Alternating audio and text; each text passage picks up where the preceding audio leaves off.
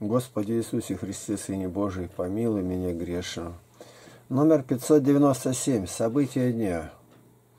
Евангелие от Иоанна, 20 глава, 31 стих. «Сие же написано, дабы вы уверовали, что Иисус есть Христос, Сын Божий, и, веруя, имели жизнь во имя Его». За 1 августа 2017 года. Вот события.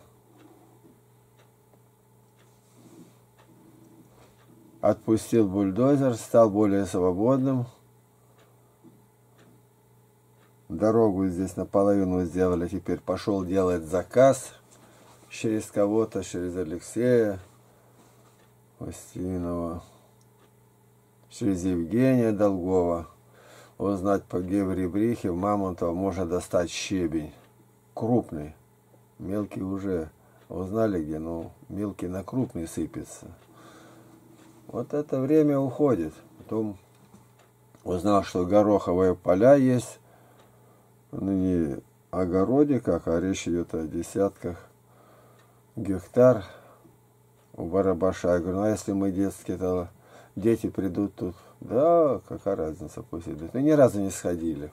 Он его протравливал, и надо время, чтобы эта отрава как бы смылась, ушла. И вчера пошел, Игорь это нет, уехал в город. Вторник это молочный день. Едут, продукцию сбывают по своим клиентам. Я гляжу, бочку закатывает, закачивает воды до обработки поля. Терентий подошел к нему, сказал, так он смеется, да идите только не туда, куда за кладбищем, а здесь рядом такое же поле, два поля гороховых. Ну, мы взяли три ведерка, пошли вчетвером. Я, значит, Нестор, Коля, Сергеев этот и Фрося. Взяли с собой собаку урагана. Ну, с краешку-то вы зашли, на шаг даже вперед на поле не зашли, чтобы не помять ничего. И полтора ведерка маленьких набрали, теперь обратно идем. Каждый дом давай заходить, угощать. Кто-то брал, кто-то не брал. А дальше решили повернуть на свой огородчик, там что есть. Там с собаками поиграли ребятишки. День как бы отдых для меня. Э, ураган плавал, бросали ему палку в пруд, в озеро. А потом решили по плотине пройти и не дошли до спуска, заросло лебедой, травой выше роста человеческого, руку поднимешь и выше. И дерево еще упало, упало и сломило бури. И вернулись назад. Это у нас заняло много времени, больше часа. Вот события. Помолились, каждый раз заходя в садок, на поле, везде молились. Вернулись. Урагану дает пить, где он заваливает землей, надо менять. Я позвал Никиту, давай показывать. Вот смотри, где он, что делает, почему такая пыль. Ну, а там перегной на старой навозной куче. Там закрыто бывший Павлов дом, у Никиты теперь. И там у него такая бревешка маленькая.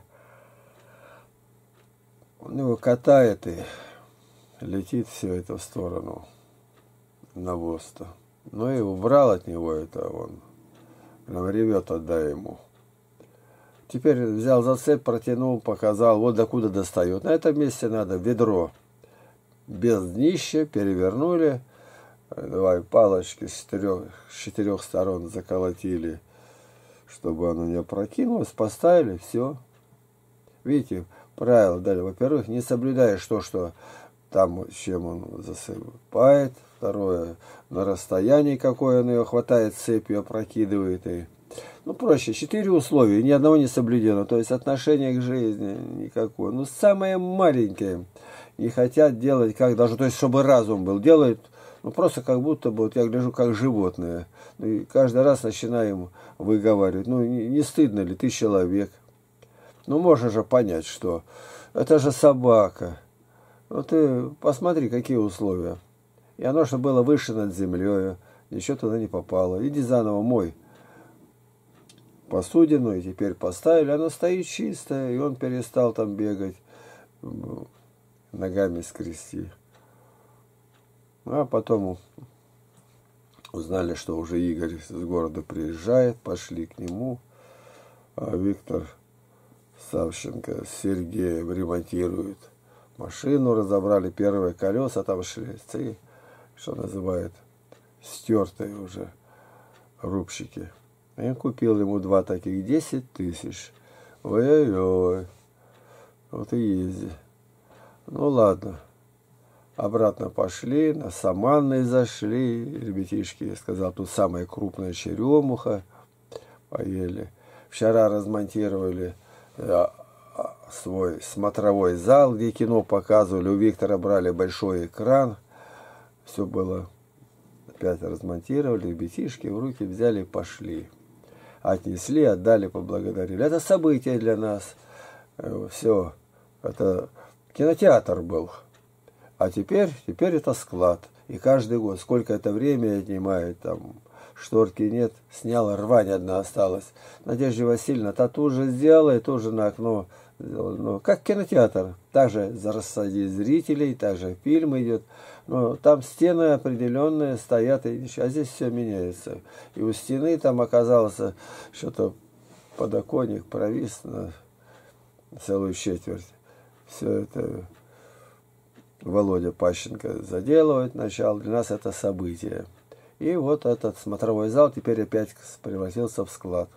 Сиденья убрали, дальше столы новые установили, на которые будут вещи положенные. А целый день вот так и идет. Это все маленькие такие наши события.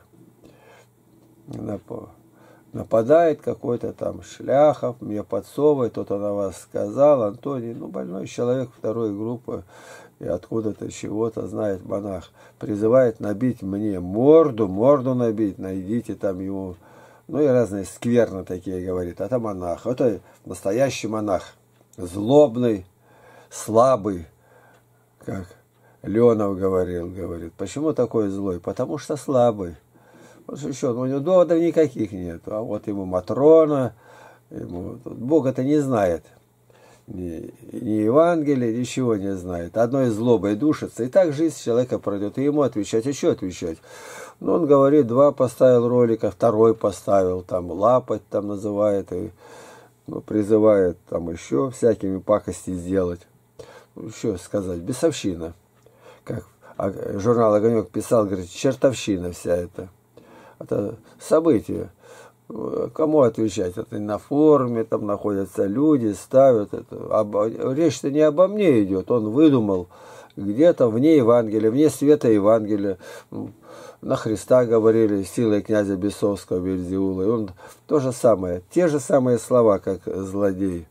Что, помолись только о нем. Помолились, и что Бог вразумил. Где-то на фоне, скрываясь, поносит патриарха, вся церковь православная, еретическая. Что этому человеку сказать, если бы он только на меня нападал? Вот, ну, одну фразу какую-то возьмут, из контекста вырывают, и дальше-то совсем ни к делу, ни к месту. Он события посмотрел, ну, Кому я отвечать? Да он еще не поймет. Он как бешеный стоит в храме все время где-то какой-то храм, говорит, и ни одного человека никогда нету рядом с ним, он один. Да, один. И кому это нужно все? Там против экуменизма, ИНН, паспорта, то есть зацикленный сатаной на одном. А благовестие об Евангелии ни слова не знает. Совершенно неверующий человек, религиозный, фанатично религиозный, но неверующий. Никакого отношения к Евангелию его деятельность не имеет. То Петр звать, тут Антоний. Куда рукоположен, согласно канонам, он не извержен, никуда. С Диамидом сошелся вначале, а разошелся. Ну, то есть немирный дух, человек, терзаемый дьяволом. И он нашел, а на мне он еще, ну, попляшет два-три раза выступит, и дальше-то еще нету. А вот если он будет считать что-то у меня, ему тут поприще. Он может сотню роликов выставить, и ни одного правильного не будет. Он не знает ничего. А вот и с ним бы встретиться, ну, если его связать по рукам и ногам, и чтобы четверо стояли с палками рядом с ним, тогда можно что-то ему ответить. А так ему нельзя ответить, он бешеный, бесноватый прямо. Э, верующий разве так делает? И патриархов и крив и в кость поносит, и священников, и епископов, и, ну, все. И он, он никто. Никто. А может быть и человека такого даже нету. Просто дьявол вылез и облепился иконками, матронами. Вот все. Это наше событие. Отдельно что-то там вчера не было. Свои дела тут делали. По мелочи все. Голубям корм задал – пошел. А я на это отвечаю, у меня есть голуби, а у вас нету. У меня есть голубятня, а у него нету. У злого человека голуби не водятся. Вот. Ну и наши ресурсы посмотреть можно. Вот первое, значит, мой мир, Mail.ru, в него с канала я все перекачиваю сюда. Вот. Видишь, какое уже сегодняшние уже выставляются. Мой мир. Там, где я в шапке стою, тут можно переписку, кому надо написать. Вот. И ленточный, это называется форум, очень грамотно составленный, большой тоже. Вот зашла одна душа и об экуменизме спрашивает. Я ссылку делаю на страницу на свою, оно не открывается ни вчера, ни сегодня что такое экуменизм. Экуменизм – хорошее слово, только из него что сделали? Они и колдунов собрали, и всех.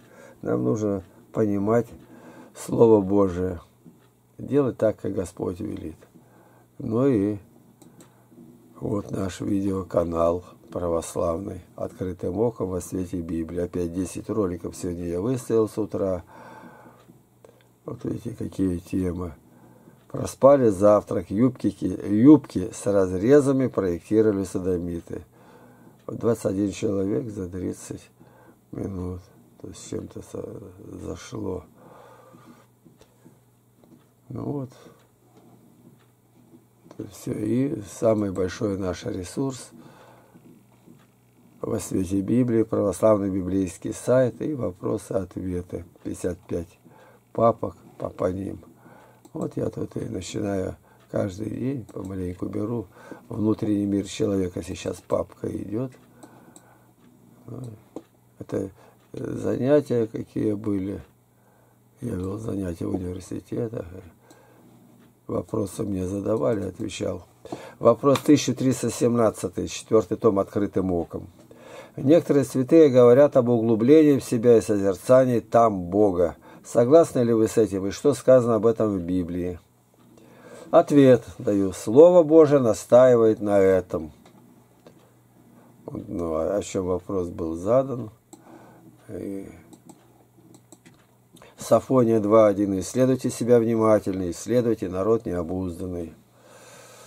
1 Тимофея 4.16. Вникай в себя и обучение, занимайся сим постоянно.